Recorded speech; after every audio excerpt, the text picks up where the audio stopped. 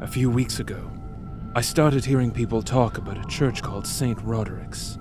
It's a small church east of Mill Street, built back when that part of town was considered well off.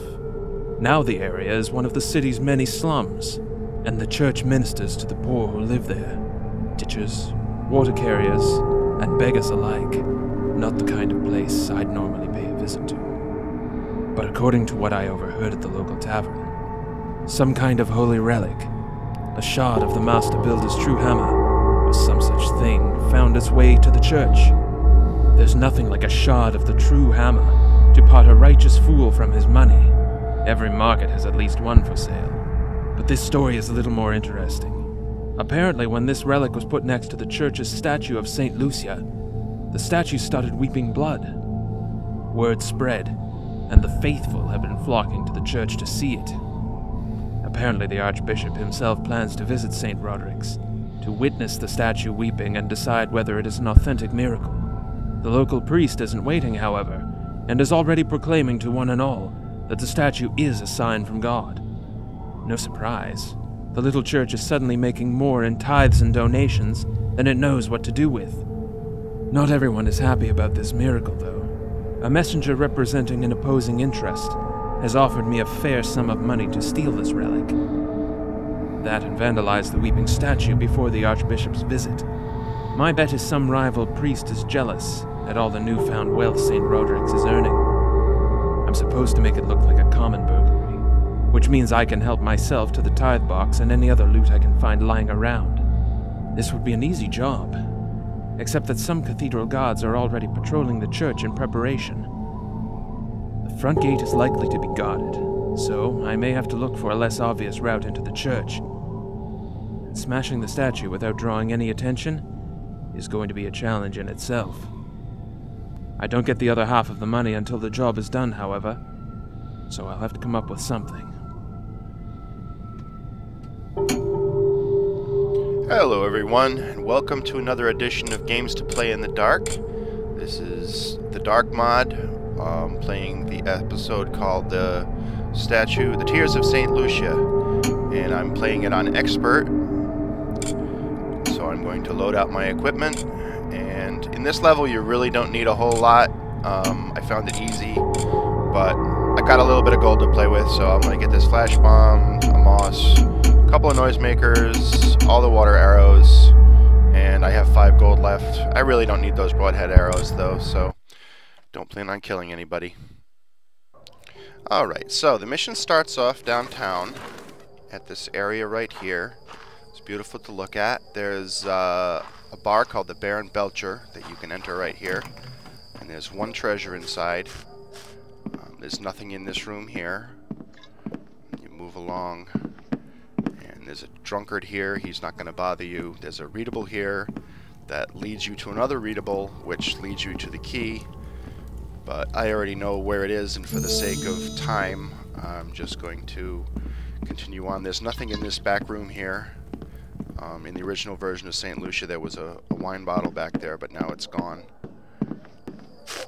And the key that you want to find is in that vase up on the ledge there. So the quickest way to get up there is to climb up on the sign, mantle up, jump up onto the lamppost, and then crouch down and move towards that little corner there. And when you hook, get hooked on it, you can move along the wall. You can stand up. And if you can try to get the uh, vase to not light up, sometimes you can grab the padlock key right out of it, like I just did. Alright, so we move along. Rats come scurrying out onto that wagon.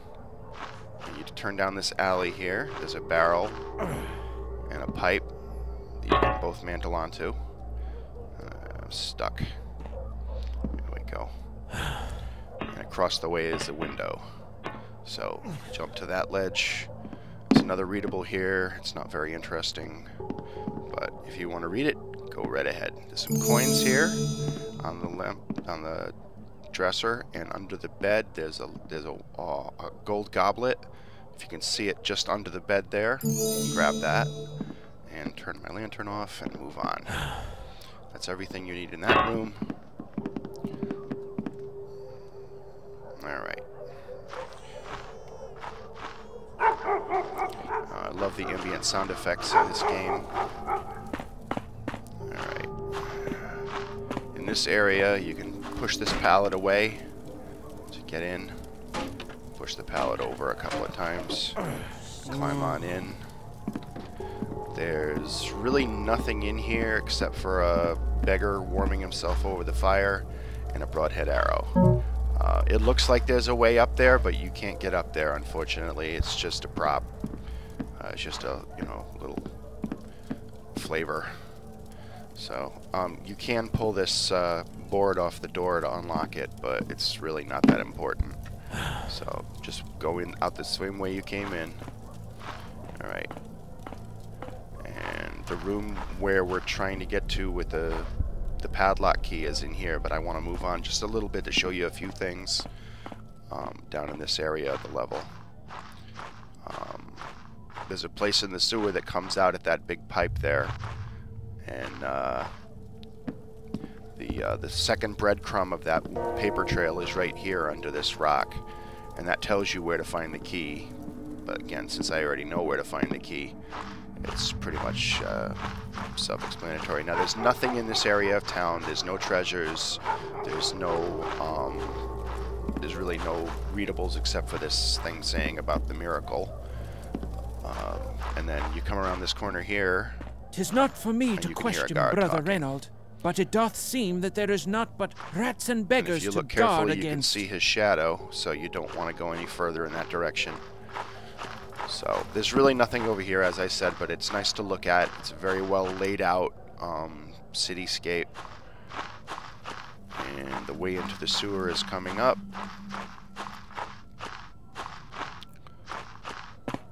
It's right in here. Sometimes you gotta crouch your way in. There we go.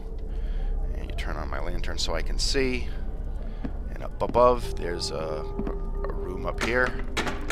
You just throw the boards off, click on the board, and push it away. Turn in this uh, direction so that you can reach the ledge and pull yourself up. And over here you'll find a coin purse and a stack of coins. The trapdoor is under this junk. There's a box and some debris on top of it, a chair, a pallet. Let's get this stuff out of my way. And then use the key you found earlier to unlock the padlock. Oops. If you're standing on top of the trapdoor, it's not going to open. Alright, so the ladder is on this side, so face that way and climb yourself down. And I'm in the sewer. There's really not a whole lot down here. It's a very clean sewer by sewer standards. And there's more to the sewer that you can explore yourself. There's really no treasure down there. So I'm going to skip over it and go right into the level itself. Do that by going through this water tunnel. It's out here. And then down this tunnel. Chimney thing. Alright, and this leads you into the church itself. But I mean, the lower levels, duck under pipes, climb up into this area. Now, if you turn this way, you see a bunch of vines. You can walk through them, and you'll find a dead rival with a gold, uh, gold ring and some broadhead arrows. Continue on through. These side passages really don't lead anywhere except for a dead ends. So you just continue on. And there's another set of vines across the way there. There's something in that area as well. This leads to an abandoned storage area, I guess. And up the ladder. If you hear that noise, that was a spider. So there's a spider down in this little alcove here. And it's not really going to bother you as long as you kill it from here. So take out the spider. And you're good to go. Let's get my lantern back on again. And there's a gold plate. That's pretty much it for this area. Just climb back up on the barrels and mantle your way up onto the ledge.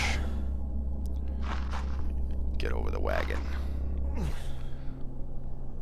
Back down the ladder. Alright. So going back the way we came. Continue forward. And when you come to the vines, you're going to go down this time. And it leads into the sewer. Run right through. Uh, there's a door here leads to a machine room, but it's empty. There's no treasure. And then there's a second door that leads to this room, which you can see a, a readable on the uh, corkboard there, but it it explains that there's someone working on the privies down here, and uh, that he's supposed to bring the ladder back up when he's done, but he didn't do that. So it's just a little flavor to you know let you know how you're supposed to get in. Pretty pretty straightforward. This is the privy area. Go and look up, and the ladder is over in this corner. Turn off the lantern because there might be someone in the next room. And out you come. Oh. Ah, and I fell. Not good.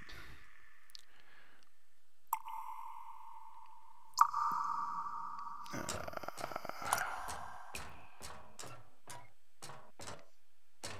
all right.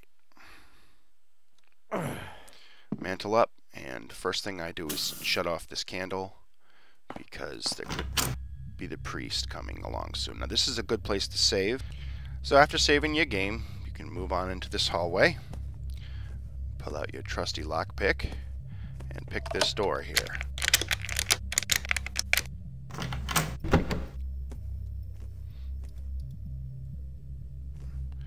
And come into this room here. Leave the door open just a little bit so you can hear.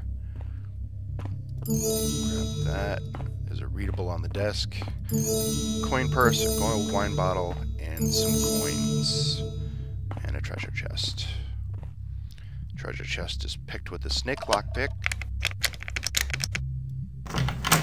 and it opens to reveal some armor and a goblet. The armor you can't do anything with. So, moving along.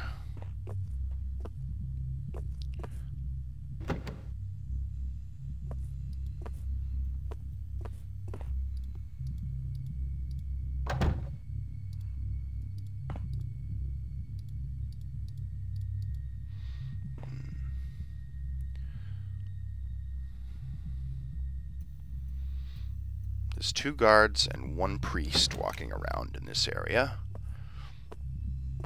So be sure to take them out carefully.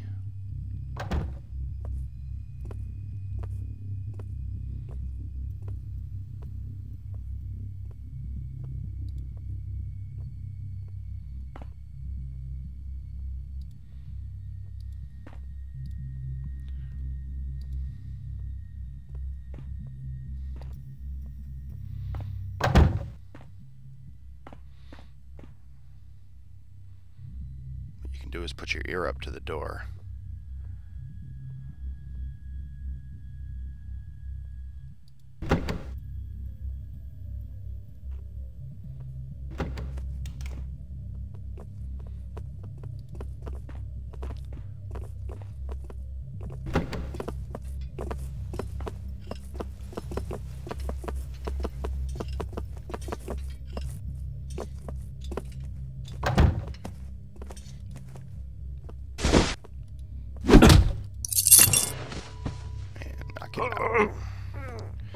Puts his back to you.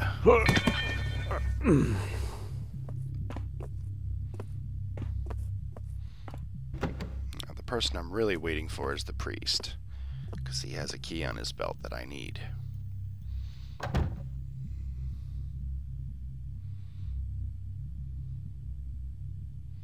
Just patiently wait for this door to open.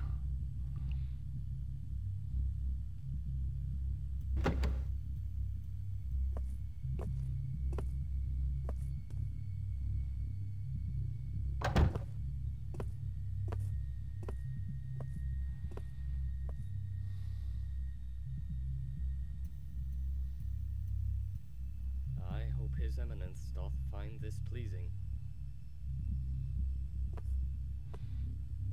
It sounds like the priest. Holy Father, blessed be thy hands and tools. Indeed.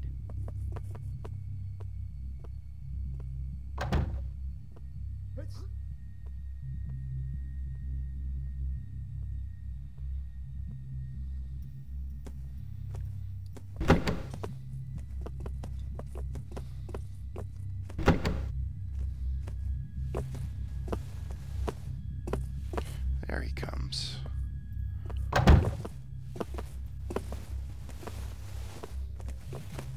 Hmm. The flame is out already?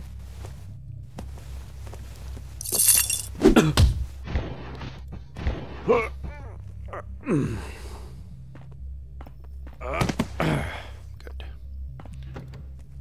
With him unconscious. There's only one more left. While I'm waiting, open the door to this room. Make sure you close it all the way. This is an important door. The guard will respond. There's a readable on the desk here. And I'll put this light out wait while I'm here. Just to make it easier for him not to see me when I'm in the doorway. Alright, there's a couple of readables on the desk, and a pile of coins, and a holy relic, a second key, and behind this vase here is a secret switch. Opens up this cubby hole with a massive treasure chest. You gotta pick this lock by sound only, there's no sight. It's triangle snake snake.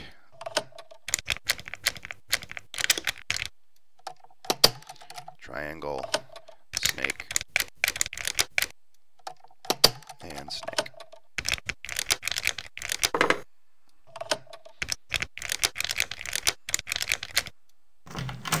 And this is where the actual main treasure you're looking for is. And there's a bunch of other stuff in there as well. Sometimes you got to play around with your uh, view to make sure that it's centering it there. Ooh, no. There. Now I'm done.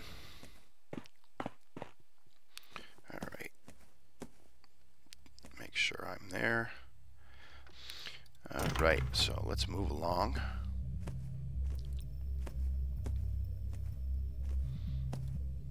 Let's look for that other guard.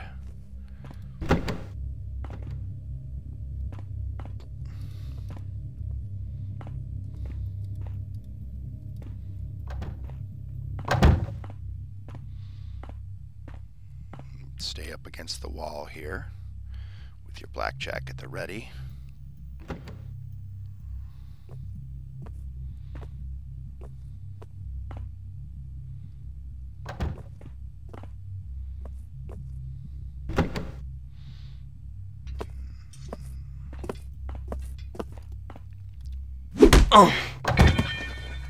Knock him unconscious.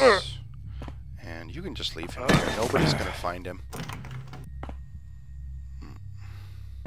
Come into this dining room area.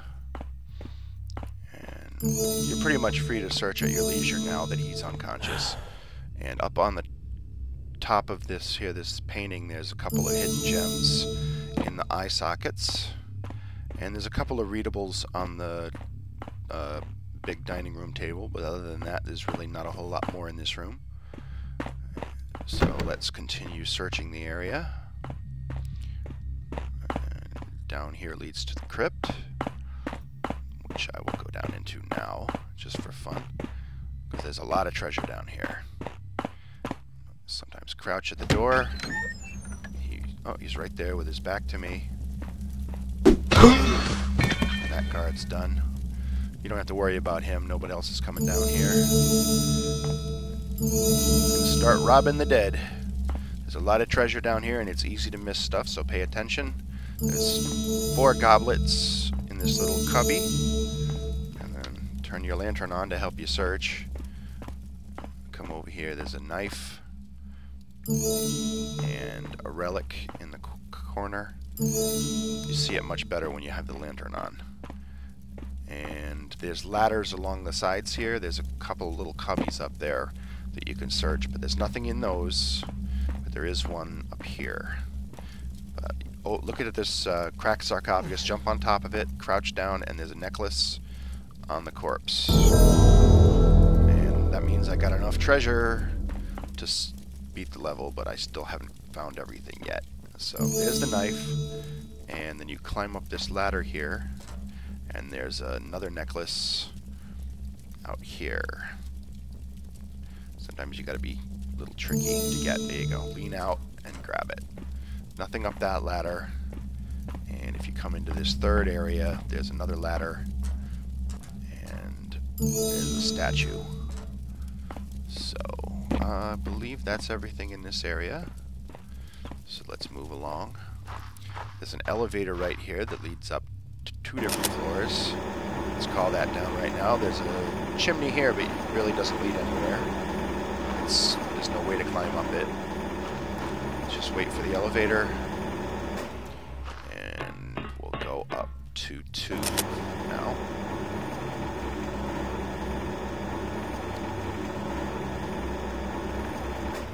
go up to three in a minute, but I want to search this area first. Lord Builder, bless my hands and my tools, over here with that I might do great works in thy name and for thy glory. Ah! Stuff. He's unconscious, and then there's two of these uh, gold statue things, and a couple of readables in the room. There's another room over here with nothing in it, so we can move on and we'll finish searching this floor and then I'll move to the other room. There's a couple of little closets off the side here. Has a gold, uh, gold bangle in the back there, gold bangle, and a water arrow in that one. And in the second one, there's a health potion down on the bottom here. And I'll bring my health back up. Alright, in this area there's a kitchen, there's a couple of gold uh, wine bottles and a broadhead arrow sticking out of this goose. And there's a couple of readables, mostly recipes and stuff. There's also this little um, vent that you can crawl up into, but there's really nothing up there. I didn't find that area to be very interesting at all. And I think that's it for this floor. Yep, that's the way I got down. So let's go take that elevator all the way up, back through this area. Let's go up all the way.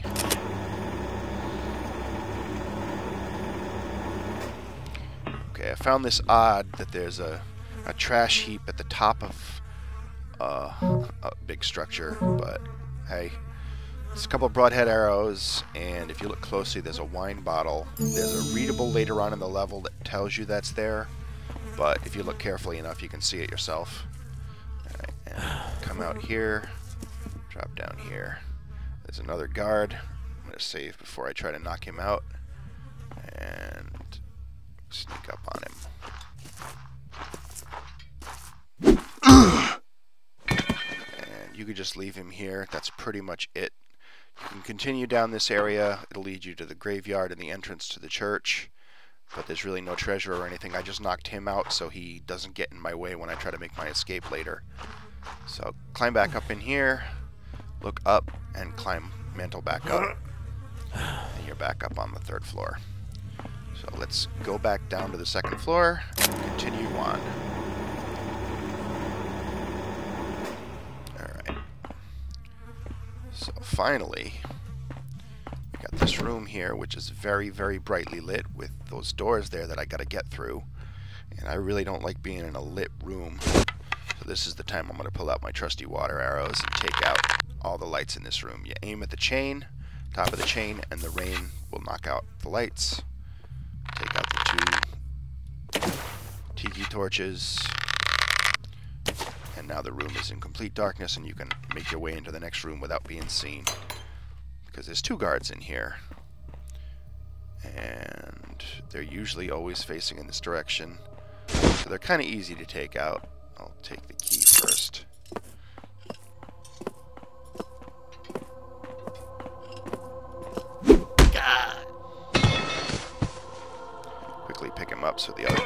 Pick him And so the other guard doesn't see him. Uh. leave him over in the corner here usually.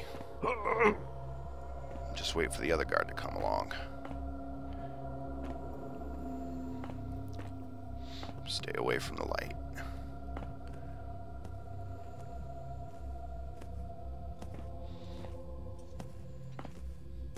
He's going to come up and he's pretty much going to stand in the same exact position as the other guy.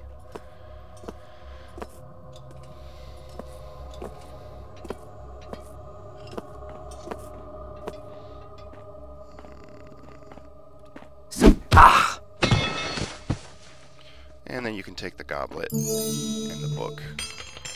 The book is just flavor again. And that's it for this area.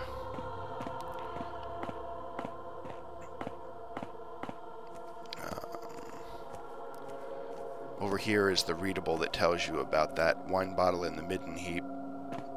It's right here, but I don't really need it at the moment. Creep along into this area. There's a guard in the next room, he's not bothering me now. Grab pretty much all the stuff from this room, which is these two gold plates. And I gotta get up to that walkway in a minute or two. But first I want to take out the guard in the next room. So the best thing to do is turn off these candles. Yeah, it makes the room nice and dark. Into the vestibule, because I have the vestibule from one of those guards. And here we see the statue of St. Lucia.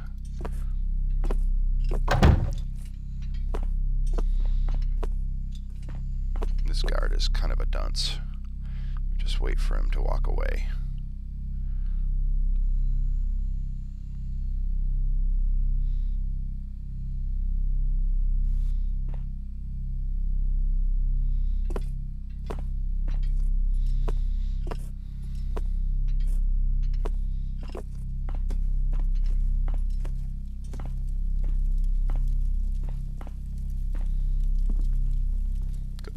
Save.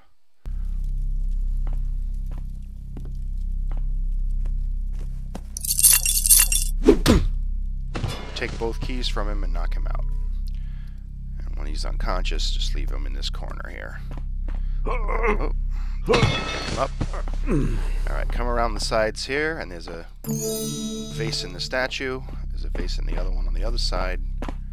Vase. And that's pretty much it. There's the one guard left who's uh, guarding the uh, main entrance. And he's not coming in unless something happens. So I'm pretty much free to explore the place. Grab all this treasure. There's plates. Oops. Gold plate. Gold goblet. Up on top of this barrel is another couple of plates. Take those two. Believe that's it. And then we just move into this room again. Let's climb up above. There's a readable over on that door, by the way. That just uh, tells you that the door is not supposed to be open. We climb up here, past this instruments and stuff, and we're on the walkway.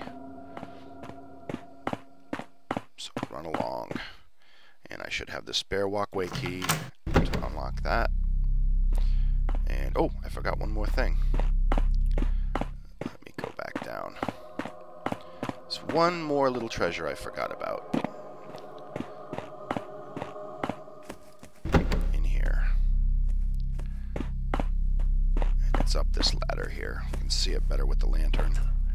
Climb up this ladder, and if you lean here, you can see a gem next to that hammer sometimes a little tricky to get.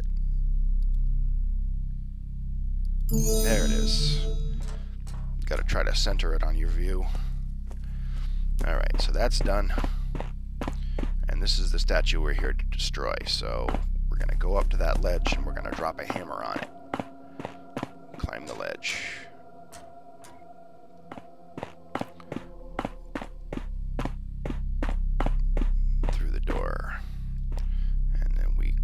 Up here, up this this work area, And see the big hammer just sitting there on the ledge. We're going to use the physics of the dark mod and we're going to push this hammer real hard. Just keep pushing against it and it'll start to move. And it'll move faster and faster until you get it here and then just drop it. And it crunks the statue's head. Turn off my lantern because this is going to send that other guard coming. There he comes. How does this happen? But he has no idea I'm here.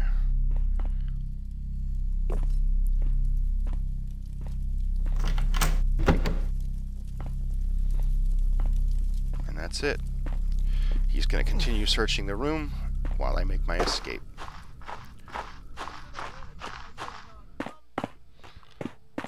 And that be it. Just run back down this through the city.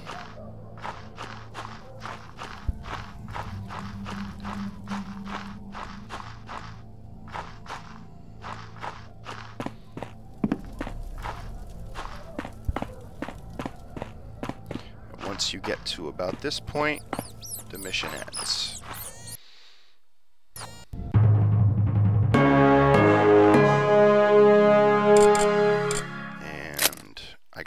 Treasure, and my stealth score was 7. So all in all, I think I did pretty good. So thank you for watching, and enjoy.